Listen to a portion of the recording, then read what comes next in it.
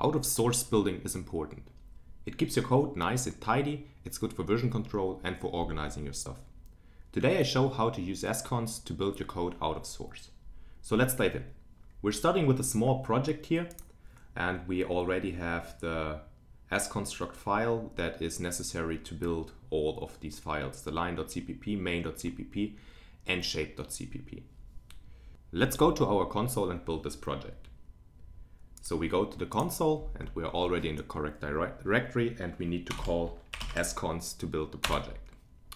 Now what happens is that all of the files that have been built are placed directly alongside our main project and alongside the source files. So line.o is directly adjacent to line.cpp.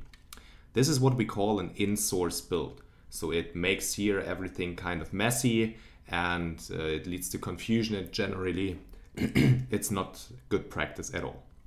So let's clean this. And now I show you a better way to do that.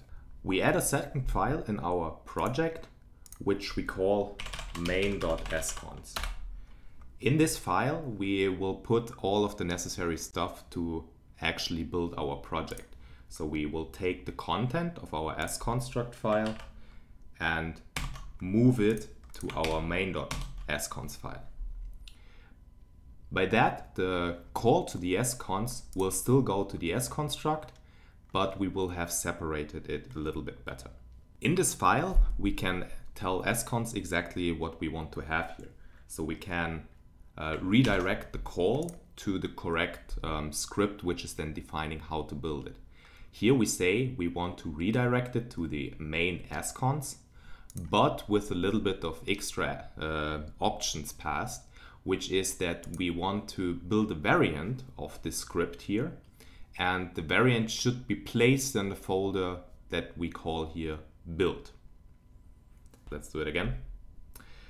And we see here that now all of the files, all of the output products are put into the folder build because it's now a variant of the file that we wanted to build, the main.scons file. And here we see that everything is neatly packed into our build folder. This is what we call an out of source build. And in generally, you should always aim for an out of source build.